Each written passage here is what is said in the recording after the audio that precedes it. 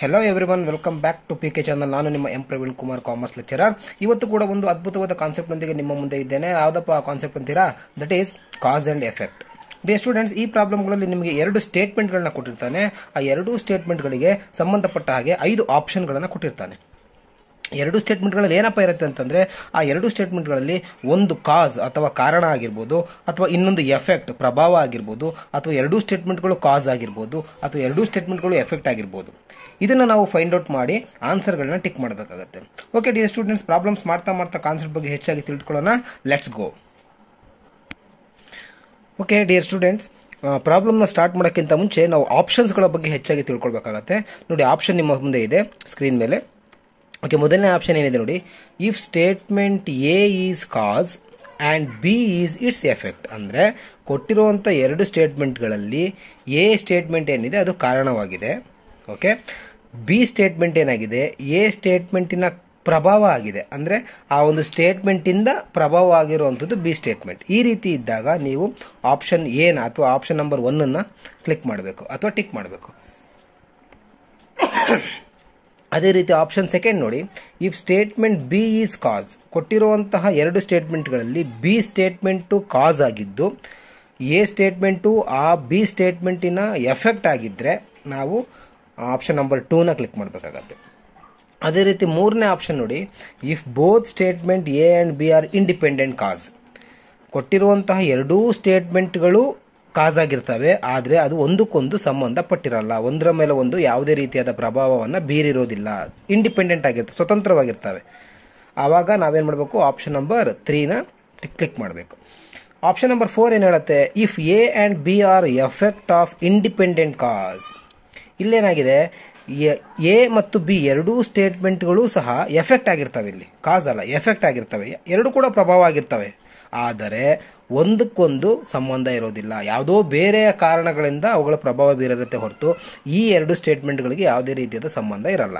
ಎರಡೂ ಸ್ಟೇಟ್ಮೆಂಟ್ಗಳು ಪ್ರಭಾವ ಆಗಿರ್ತವೆ, ಆದರೆ ಒಂದಕ್ಕೊಂದು ಸಂಬಂಧ ಇರೋದಿಲ್ಲ. ಆವಾಗ ನಾವು ಆಪ್ಷನ್ ನಂಬರ್ ಫೋರನ್ನು ನಾವು ಟಿಕ್ ಮಾಡಬೇಕು.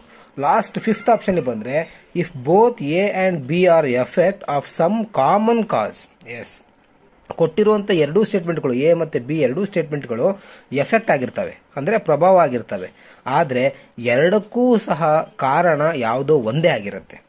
ಎರಡಕ್ಕೂ ಸಹ, ಅಂದರೆ ಬೇರೆ ಬೇರೆ ಪ್ರಭಾವ ಬೀರಿರುತ್ತೆ. ಆದರೆ ಕಾರಣ ಮಾತ್ರ ಎರಡಕ್ಕೂ ಸಹ ಒಂದೇ ಆಗಿರುತ್ತೆ. ಆ ರೀತಿ ಇದ್ದಾಗ ನೀವು ಆಪ್ಷನ್ ನಂಬರ್ ಫೈವ್ ಅನ್ನ ಕ್ಲಿಕ್ ಮಾಡಬೇಕು. ಓಕೆನಾ ಅದೇ ಪ್ರಾಬ್ಲಮ್ಸ್ ಮಾಡ್ತಾ ಮಾಡ್ತಾ ನಿಮಗೆ ಗೊತ್ತಾಗ್ತಾ ಹೋಗುತ್ತೆ. ಈಗ ಫಸ್ಟ್ ಪ್ರಾಬ್ಲಮ್ ತಗೊಳ್ಳಿ. ಫಸ್ಟ್ ಪ್ರಾಬ್ಲಮ್ ಒಂದು ಸ್ಕ್ರೀನ್ ಪ್ಲೀಸ್ ಹಾಂ, ಬಂದಿದೆ ನೋಡಿ. ಮೊದಲನೇ problem the residents reported of increased criminal activities in the area to the local police station ನೋಡಿ ಇಲ್ಲಿ ಏನ್ ಹೇಳ್ತಾನೆ?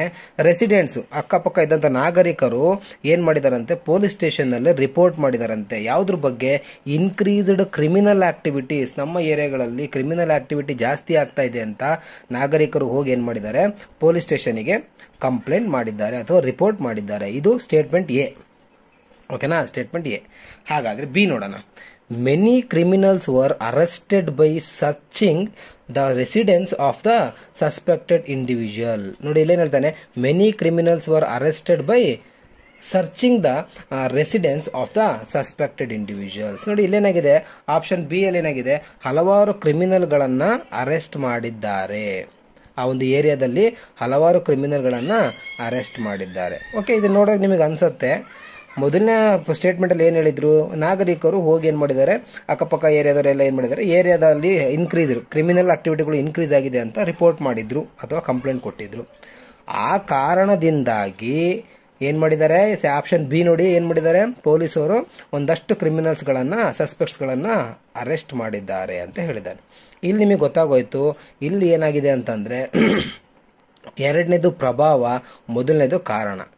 ಎರಡನೇದು ಏನಾಗಿದೆ? ಆಪ್ಷನ್ ಬಿ ಏನಾಗಿದೆ? ಕ್ರಿಮಿನಲ್ಸ್ಗಳನ್ನ ಅರೆಸ್ಟ್ ಮಾಡಿದ್ದಾರೆ. ಯಾಕೆ ಅರೆಸ್ಟ್ ಮಾಡಿದ್ರು? ಯಾಕೆ ಅಂತಂದ್ರೆ, ಕಾರಣ ಏನಪ್ಪಾ ಅಂತಂದ್ರೆ, ಅಲ್ಲ, ಆ ಏರಿಯಾದ ನಾಗರಿಕರು ಪೊಲೀಸ್ ಸ್ಟೇಷನ್ಗೆ ಹೋಗಿ ಕಂಪ್ಲೇಂಟ್ ಮಾಡಿದ್ರು. ಹಾಗಾಗಿ A is the causes A ಅನ್ನೋದೇನಾಗಿದೆ ಕಾರಣ ಆಗಿದೆ. ಬಿ ಅನ್ನೋದೇನಾಗಿದೆ ಅದರ ಪ್ರಭಾವ ಆಗಿದೆ. ಹಾಗಾದ್ರೆ ಆಪ್ಷನ್ ನಂಬರ್ ಒನ್ ನೋಡಿ ಹೇಳ್ತಾನೆ? If statement A is cause B is its effect A is cause ಅಂತದೆ. Sorry A is cause ಅಂದ್ರೆ ನಾಗರಿಕರು ಹೋಗಿ ಪೊಲೀಸ್ ಸ್ಟೇಷನ್ ಕಂಪ್ಲೇಂಟ್ ಕೊಟ್ಟರು ಆ ಕಾರಣದಿಂದಾಗಿ ಕ್ರಿಮಿನಲ್ಸ್ಗಳನ್ನ ಪೊಲೀಸರು ಅರೆಸ್ಟ್ ಮಾಡೋದು. ಅದರ ಪ್ರಭಾವ ಇದು. ಓಕೆನಾ? ಈ ರೀತಿ ನೀವು ಆ ಎರಡು ಸ್ಟೇಟ್ಮೆಂಟ್ಗಳನ್ನ ಅರ್ಥ ಮಾಡಿಕೊಂಡು ನೀವು ಆ ಒಂದು ಆಪ್ಷನ್ಸ್ಗಳನ್ನ ಟಿಕ್ ಮಾಡಬೇಕಾಗುತ್ತೆ. ಮೊದಲನೇ ಪ್ರಾಬ್ಲಮ್ ಅರ್ಥ ಆಗಿದೆ ಅಂದ್ಕೊಂಡಿದ್ದೀನಿ ಎ ಈಸ್ ಕಾರಣ ಅಥವಾ ಕಾಸ್ ಬಿ ಈಸ್ ಪ್ರಭಾವ ಅಥವಾ effect okay? Yes second problem please ಹಾಂ ಎಸ್ ನೋಡಿ ಸೆಕೆಂಡ್ ಪ್ರಾಬ್ಲಮ್ ನೋಡಿ government has provided high stake reward high stake reward scheme for such person who may provide any information about the suspect government has provided high stake reward scheme for such person who may provide any information about suspect. ಯಾವುದೋ ಒಬ್ಬ suspect ವ್ಯಕ್ತಿ ಬಗ್ಗೆ ಯಾರು information ಕೊಡ್ತಿರೋ ಅವರಿಗೆ government ಅತಿ ಹೆಚ್ಚಿನ reward ಅಥವಾ ಬಹುಮಾನವನ್ನು ಕೊಡ್ತೀನಿ ಅಂತ ಹೇಳುತ್ತೆ. ಓಕೆನಾ ಇದೊಂದಿರಲಿ. ನೆಕ್ಸ್ಟ್ ನೋಡಿ. Four member of a family are brutally murdered by an unidentified gunman ನೋಡಿ, ಒಂದು ಫ್ಯಾಮಿಲಿಯ ನಾಲ್ಕು ಜನರನ್ನ ಕ್ರೂರವಾಗಿ ಅನ್ಐಡ್ ಐಡೆಂಟಿಫೈಡ್ ಗುರ್ತು ಗುರುತು ಪರಿಚಯ ಇಲ್ಲದಂತ ಒಬ್ಬ ಗನ್ ಮ್ಯಾನ್ ಮರ್ಡರ್ ಮಾಡಿದ್ದಾನೆ, ಕ್ರೂರವಾಗಿ ಮರ್ಡರ್ ಮಾಡಿದ್ದಾನೆ. ಓಕೆನಾ ಇಲ್ಲಿ ನೋಡಿ, ಇಲ್ಲಿ ನೀಟಾಗಿ ಯೋಚನೆ ಮಾಡಿ ಥಿಂಕ್ ಮಾಡಿ. ಮೊದಲನೇ ಸ್ಟೇಟ್ಮೆಂಟಲ್ಲಿ ಏನು ಹೇಳಿದ್ರು, ಯಾವುದೋ ಒಬ್ಬ ಕ್ರಿಮಿನಲ್ಸ್ ಬಗ್ಗೆ ಇನ್ಫಾರ್ಮೇಷನ್ ಕೊಟ್ಟರೆ ನಿಮಗೆ ಹೈ ಸ್ಟೇಕ್ ರಿವಾರ್ಡ್ ಬಹುಮಾನವನ್ನು ಕೊಡ್ತೀವಿ ಅಂತ ಗೌರ್ಮೆಂಟು ಅನೌನ್ಸ್ ಮಾಡಿದೆ. ಓಕೆನಾ? ಇಲ್ಲಿ ಎರಡನೇ ಇದರಲ್ಲಿ ಏನು ಹೇಳಿದಾನೆ ಬಿ ಎಲ್ ಏನು ಹೇಳಿದಾನೆ statement four member of a family are brutally murdered by unidentified gunman ಗುರುತು ಪರಿಚಯ ಇಲ್ಲದಿರುವಂಥ ಒಬ್ಬ ಗನ್ ಮ್ಯಾನ್ ಏನು ಮಾಡಿದ್ದಾನೆ? ಒಂದು ಫ್ಯಾಮಿಲಿಯ ನಾಲ್ಕು ಮೆಂಬರ್ಗಳನ್ನು ಕ್ರೂರವಾಗಿ ಹತ್ಯೆ ಮಾಡಿದ್ದಾನೆ ಅಂತ ಹೇಳ್ತಾರೆ. ಇಲ್ಲಿ ಒಂದಕ್ಕೊಂದು ಸಂಬಂಧ ಇದೆ. ಹೌದಲ್ವಾ? ಒಂದಕ್ಕೊಂದು ಸಂಬಂಧ ಇದೆ. ಇಲ್ಲೇನಾಗಿದೆ? ಬಿ ಏನಾಗಿದೆ? ಕಾರಣ ಆಗಿದೆ. ಗೌರ್ಮೆಂಟ್ ಅವರು ಒಬ್ಬ ವ್ಯಕ್ತಿಯ ಬಗ್ಗೆ ಅಥವಾ ಒಬ್ಬ ಕ್ರಿಮಿನಲ್ಸ್ ಬಗ್ಗೆ ಇನ್ಫಾರ್ಮೇಶನ್ ಕೊಟ್ಟರೆ ರಿವಾರ್ಡ್ ಕೊಡ್ತೀವಿ, ಬಹುಮಾನ ಕೊಡ್ತೀವಿ ಅಂತ ಅನೌನ್ಸ್ ಮಾಡಿದ್ದಾರೆ. ಯಾಕೆ? ಯಾಕೆ ಅಂತಂದ್ರೆ ಆ ವ್ಯಕ್ತಿ ಏನು ಮಾಡಿದ್ದಾನೆ? ಒಂದು ಫ್ಯಾಮಿಲಿಯ ನಾಲ್ಕು ಜನರನ್ನ ಕ್ರೂರವಾಗಿ ಹತ್ಯೆ ಮಾಡಿದ್ದಾನೆ. ಹಾಗಾಗಿ ಅವರು ಗೌರ್ಮೆಂಟ್ ಅವರು ಆ ಸ್ಕೀಮನ್ನು ಏನು ಮಾಡಿದ್ದಾರೆ? ಅನೌನ್ಸ್ ಮಾಡಿದ್ದಾರೆ. ಹಾಗಾದ್ರೆ ಇಲ್ಲಿ ಏನಾಗಿದೆ? ಬಿ ಸ್ಟೇಟ್ಮೆಂಟ್ ಏನಾಗಿದೆ? ಅದು ಕಾರಣ ಆಗಿದೆ. ಬಿ ಸ್ಟೇಟ್ಮೆಂಟ್ ಏನಾಗಿದೆ? ಕಾರಣ ಆಗಿದೆ. ಎ ಸ್ಟೇಟ್ಮೆಂಟ್ ಏನಾಗಿದೆ? ಅದರ ಎಫೆಕ್ಟ್ ಆಗಿದೆ. ಒಬ್ಬ ಕ್ರಿಮಿನಲ್ ಒಂದು ಫ್ಯಾಮಿಲಿಯ ನಾಲ್ಕು ಜನರನ್ನ ಅಥವಾ ನಾಲ್ಕು ಮೆಂಬರ್ಗಳನ್ನು ಕ್ರೂರವಾಗಿ ಹತ್ಯೆ ಮಾಡಿರೋದಕ್ಕೆಗೋಸ್ಕರ, ಗೌರ್ಮೆಂಟ್ ಏನು ಮಾಡಿದೆ? ಆ ವ್ಯಕ್ತಿನ ಕಂಡುಹಿಡಿಯಲಿಕ್ಕೋಸ್ಕರ ಒಂದು ಅನೌನ್ಸ್ ಮಾಡಿದೆ. ಏನಂತ? ಆ ವ್ಯಕ್ತಿಯ ಬಗ್ಗೆ ಅಥವಾ ಕ್ರಿಮಿನಲ್ ಬಗ್ಗೆ ಯಾರಾದರೂ ಇನ್ಫಾರ್ಮೇಷನ್ ಕೊಟ್ಟರೆ ನಾನು ನಿಮಗೆ ಬಹುಮಾನ ಕೊಡ್ತೀವಿ ಅಂತ. ಹಾಗಾಗಿ ಇಲ್ಲಿ ಏನಾಗಿದೆ? B is the cause A is the effect ಹಾಗಾಗಿ ಇಲ್ಲಿ ಆಪ್ಷನ್ ಯಾವ್ದಾಗತ್ತೆ? ಆಪ್ಷನ್ ನಂಬರ್ ಟೂ ಆಗುತ್ತೆ. ನೋಡಿ if statement B is cause B statement ಏನಾಗಿದೆ? ಕಾಸ್ ಆಗಿದೆ ಅಥವಾ ಕಾರಣ ಆಗಿದೆ. ಎ ಸ್ಟೇಟ್ಮೆಂಟ್ ಏನಾಗಿದೆ? ಎಫೆಕ್ಟ್ ಆಗಿದೆ. ಓಕೆನಾ this is about second problem ಈಗ ಥರ್ಡ್ ಪ್ರಾಬ್ಲಮ್ ಒಂದು ಸ್ಕ್ರೀನ್ ಪ್ಲೀಸ್ ಹಾಂ. ಈಗ ನೋಡಿ next most of the students enrolled themselves for the next month educational tour sorry. Most of the students enrolled themselves for the educational tour scheduled next month. Most of the student most of the students ಏನು ಮಾಡಿದ್ದಾರೆ educational ಟ್ರಿಪ್ಪಿಗೆ ಅಥವಾ ಟೂರಿಗೆ ಏನು ಮಾಡಿದ್ದಾರೆ, ತಮ್ಮನ್ನು ತಾವು enrol ಮಾಡ್ಕೊಂಡಿದ್ದಾರೆ. ನೆಕ್ಸ್ಟ್ ಮಂತ್ ಇರುವಂಥ ಎಜುಕೇಷನಲ್ ಟೂರಿಗೆ ಎನ್ರೋಲ್ ಮಾಡ್ಕೊಂಡಿದ್ದಾರೆ. ಇದು ಮೊದಲನೇ ಸ್ಟೇಟ್ಮೆಂಟ್ ಬಿ ಸ್ಟೇಟ್ಮೆಂಟ್ ಏನಿದೆ? The school authority cancel the educational tour schedule for next month ಇಲ್ಲೇನಾಗಿದೆ? School authority ಏನು ಮಾಡಿದೆ? ಮುಂದಿನ ತಿಂಗಳು ಇದ್ದಂತಹ ಒಂದು ಎಜುಕೇಷನಲ್ ಟ್ರಿಪ್ಪನ್ನು ಅಥವಾ ಟೂರನ್ನು ಕ್ಯಾನ್ಸಲ್ ಮಾಡಿದೆ. ಓಕೆನಾ ನೋಡಿ, ಇಲ್ಲೇನಾಗಿದೆ ನಿಮಗೆ? Most of the students enrol themselves for the educational tour schedule for next month ಮುಂದಿನ ತಿಂಗಳು ಇದ್ದಂಥ ಒಂದು ಎಜುಕೇಷನಲ್ ಟೂರಿಗೆ ಏನು ಮಾಡಿದ್ದಾರೆ? ಸ್ಟೂಡೆಂಟ್ಸ್ಗಳು ಎನ್ರೋಲ್ ಮಾಡ್ಕೊಂಡಿದ್ದಾರೆ. ಓಕೆ ಎರಡನೇ ಸ್ಟೇಟ್ಮೆಂಟಲ್ಲಿ ಏನು ಹೇಳ್ತಾನೆ? ಆ ಸ್ಕೂಲ್ ಅಥಾರಿಟಿ ಏನು ಮಾಡಿದೆ? ಆ ಮುಂದಿನ ತಿಂಗಳು ಇದ್ದಂಥ ಒಂದು ಇದನ್ನು, ಏನನ್ನ ಟ್ರಿಪ್ಪನ್ನು ಕ್ಯಾನ್ಸಲ್ ಮಾಡಿದೆ. ಓಕೆ ಇಲ್ಲೇನಾಗಿದೆ? ಒಂದು, ಎರಡೂ ಸಹ ಒಂದಕ್ಕೆ ಸಂಬಂಧಪಟ್ಟಿರೋ ವಿಷಯನೇ, ಆದರೆ ಒಂದಕ್ಕೊಂದು ಲಿಂಕ್ ಇಲ್ಲ. There is no relationship trip ಇಟ್ಟಿದ್ರು ಟೂರ್ ಇಟ್ಟಿದ್ರು, ಅದಕ್ಕೆ ಹುಡುಗರು ಏನು ಮಾಡಿದ್ರು ಎನ್ರೋಲ್ ಮಾಡ್ಕೊಂಡ್ರು, ಅದು ಒಂದು. ಟ್ರಿಪ್ ಇಟ್ಟಿರೋದಕ್ಕೋಸ್ಕರ ಎನ್ರೋಲ್ ಮಾಡ್ಕೊಂಡಿದ್ದಾರೆ, ಅದು ಬೇರೆ ಆಗಿತ್ತು. ಆದರೆ ಇಲ್ಲಿ ಸೆಕೆಂಡ್ ಏನಾಗಿದೆ ಬಿ ಸ್ಟೇಟ್ಮೆಂಟಲ್ಲಿ ಆ ಸ್ಕೂಲ್ ಅಥಾರಿಟಿ ಆ ಟ್ರಿಪ್ಪನ್ನು ಕ್ಯಾನ್ಸಲ್ ಮಾಡಿದ್ದಾರೆ. ಕಾರಣ ಮೇಲಿಂದಲ್ಲ, ಅಲ್ವಾ? ಈಗ ಒಂದು ನೋಡ್ಕೊಳ್ಳಿ ಎ ಸ್ಟೇಟ್ಮೆಂಟ್ ಏನು ಹೇಳಿದ್ದಾರೆ ಸ್ಟೂಡೆಂಟ್ಸ್ಗಳು ಟ್ರಿಪ್ಪಿಗೆ ತಮ್ಮನ್ನು ತಾವು ಎನ್ರೋಲ್ ಮಾಡ್ಕೊಂಡಿದ್ದಾರೆ. ಕಾರಣ ಏನು? ಟ್ರಿಪ್ ಇಟ್ಟಿರೋದು ಕಾರಣ. ಟ್ರಿಪ್ ಕ್ಯಾನ್ಸಲ್ ಮಾಡಿರೋದು ಅದು ಕಾರಣ ಆಗಲ್ಲ. ಟ್ರಿಪ್ ಇಟ್ಟಿರ್ತಾರೆ, ಅದಕ್ಕೋಸ್ಕರ ಅವ್ರು ಎನ್ರೋಲ್ ಮಾಡ್ಕೊಂಡಿರ್ತಾರೆ. ಓಕೆ ಹಾಗಾದ್ರೆ ಟ್ರಿಪ್ ಕ್ಯಾನ್ಸಲ್ ಆಗಿರೋದಕ್ಕೆ ಕಾರಣ ಏನು? ಇವ್ರು ಎನ್ರೋಲ್ ಆಗಿದ್ದ ಕಾರಣನಾ? ನೋ. ಹಾಗಾಗಿ ಇವೆರಡಕ್ಕೂ ಸಹ ಬೇರೆ ಬೇರೆ ಕಾರಣ ಇದೆ. ಎ ಸ್ಟೇಟ್ಮೆಂಟಿಗೂ ಬೇರೆ ಕಾರಣ ಇದೆ. ಬಿ ಸ್ಟೇಟ್ಮೆಂಟಿಗೂ ಬೇರೆನೇ ಕಾರಣ ಇದೆ. ಓಕೆ? ಹಾಗಾಗಿ ಇದಕ್ಕೆ ಆಪ್ಷನ್ ಯಾವ್ದು ಬರುತ್ತೆ ಅಂತಂದ್ರೆ, ಆಪ್ಷನ್ ನಂಬರ್ ಫೋರ್ ನೋಡಿ. If A and B are effect of independent cause ಎರಡೂ ಸ್ಟೇಟ್ಮೆಂಟ್ಗಳಿಗೆ ಅದರದ್ದೇ ಆದ ಇಂಡಿಪೆಂಡೆಂಟ್ ಅದರ, ಅದರದ್ದೇ ಆದ ಬೇರೆ ಬೇರೆ ಕಾರಣಗಳಿದೆ. ಓಕೆನಾ? ಹಾಗಾಗಿ ಪ್ರಾಬ್ಲಮ್ ನಂಬರ್ ತ್ರೀಗೆ ಆಪ್ಷನ್ ಯಾವುದಪ್ಪ ಅಂತಂದರೆ ಫೋರ್ ಯಾಕಂದರೆ ಎಗೆ ಬಿ ಕಾರಣ ಅಲ್ಲ ಬಿಗೆ ಎ ಕಾರಣ ಅಲ್ಲ. ಎನ ಎಫೆಕ್ಟು ಬಿ ಅಲ್ಲ ಬಿನ ಎಫೆಕ್ಟು ಎ ಅಲ್ಲ. ಅವೆರಡಕ್ಕೂ ಸಬ್ ಸಪ್ರೇಟ್ ಬೇರೆ ಬೇರೆನೇ ಕಾರಣನೇ ಇದೆ. ಓಕೆನಾ? ಎಸ್ ಫೋರ್ತ್ ಪ್ರಾಬ್ಲಮ್ ಒಂದು ಸ್ಕ್ರೀನ್ ಪ್ಲೀಸ್ ಹಾಂ. All the schools declared holiday on the next day of major festival all the schools declared holiday on the next day of major festival ಎಲ್ಲ ಸ್ಕೂಲ್ಗಳು ಯಾವುದೋ ಒಂದು ಮೇಜರ್ ಹಬ್ಬ ಆದಮೇಲೆ ನೆಕ್ಸ್ಟ್ ಡೇ ಹಾಲಿಡೇನ ಡಿಕ್ಲೇರ್ ಮಾಡಿದ್ದಾರೆ. ಓಕೆನಾ ಎಸ್ ಬಿ ಸ್ಟೇಟ್ಮೆಂಟ್ ನೋಡಿ. All the colleges declared holiday on the next day ಇಲ್ಲೇನಾಗಿದೆ? All the colleges declared holiday on the next day ಇಲ್ಲೇನಾಗಿದೆ ನೋಡಿ all the schools declared holiday ಎಲ್ಲ ಸ್ಕೂಲ್ಗಳು ಏನು ಮಾಡಿದಾವೆ ಒಂದು ಹಬ್ಬದ ನಂತರದ ದಿನನ ಹಾಲಿಡೇ ಆಗಿ declare ಮಾಡಿದಾವೆ. Okay all the colleges declared holiday the next day ಇಲ್ಲೂ ಕೂಡ ಕಾಲೇಜ್ ಏನು ಮಾಡಿದೆ? ಒಂದು ಹಾಲಿಡೇನ ಡಿಕ್ಲೇರ್ ಮಾಡಿದೆ. ಎರಡಕ್ಕೂ ಸಹ ಕಾರಣ ಒಂದೇ ಇಲ್ಲಿ. ಸ್ಕೂಲು ಹಾಲಿಡೇನ ಡಿಕ್ಲೇರ್ ಮಾಡಿದ್ದಕ್ಕೆ ಕಾಲೇಜ್ ಡಿಕ್ಲೇರ್ ಮಾಡಿಲ್ಲ. ಕಾಲೇಜು ಹಾಲಿಡೇನ ಡಿಕ್ಲೇರ್ ಮಾಡಿದ್ದಕ್ಕೆ ಸ್ಕೂಲ್ ಡಿಕ್ಲೇರ್ ಮಾಡಿಲ್ಲ. ಇಲ್ಲಿ ಈ ಎರಡಕ್ಕೂ ಕಾರಣ ಒಂದೇ ಇದೆ. ಸ್ಕೂಲು ಹಾಲಿಡೇ ಡಿಕ್ಲೇರ್ ಮಾಡೋದಕ್ಕೂ ಒಂದೇ ಕಾರಣ.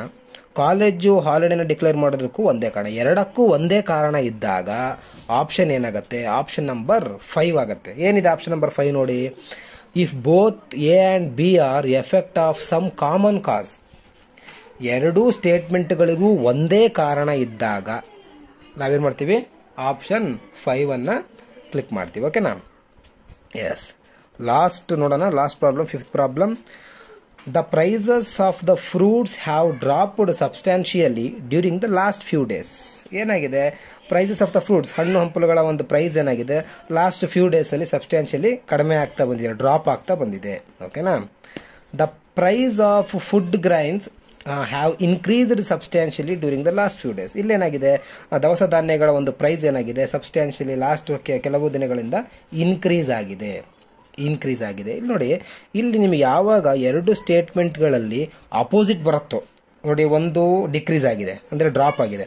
ಇನ್ನೊಂದು ಏನಾಗಿದೆ? ಇನ್ಕ್ರೀಸ್ ಆಗಿದೆ. ಯಾವಾಗ ನಿಮಗೆ ಈ ರೀತಿ ಒಂದು ಇನ್ಕ್ರೀಸು ಒಂದು ಡಿಕ್ರೀಸು ಆಪೋಸಿಟ್ ಡೈರೆಕ್ಷನಲ್ಲಿ ಹೋಗ್ತಾ ಇರ್ತಾವೋ ಆವಾಗ ನಿಮಗೆ ಯಾವುದಪ್ಪ ಬರುತ್ತೆ ಆನ್ಸರು ಅಂತಂದರೆ that is four option four if A and B are effect of independent cause ನೋಡಿ the price of fruits have dropped substantially ಹಣ್ಣು ಹಂಪಲುಗಳ ಒಂದು ಪ್ರೈಸ್ ಕಡಿಮೆ ಆಗಲಿಕ್ಕೆ ಫುಡ್ ಗ್ರೈನ್ಸಿನ ಪ್ರೈಸ್ ಜಾಸ್ತಿ ಆಗಿದ್ದ ಕಾರಣ ಅಲ್ಲ.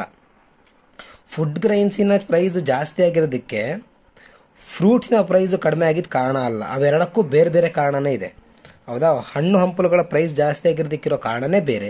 ಅದೇ ರೀತಿ ಫ್ರೂಟ್ ಗ್ರೈನ್ಸಿನ ಒಂದು ಪ್ರೈಸ್ ಇನ್ಕ್ರೀಸ್ ಆಗಿರೋದಕ್ಕೆ, ಜಾಸ್ತಿ ಆಗಿರೋದಕ್ಕೆ ಕಾರಣನೇ ಬೇರೆ. ಹಣ್ಣು ಹಂಪಲುಗಳ ಪ್ರೈಸ್ ಕಡಿಮೆ ಆಗಿರೋದಕ್ಕೆ ಕಾರಣನೇ ಬೇರೆ ಇರುತ್ತೆ.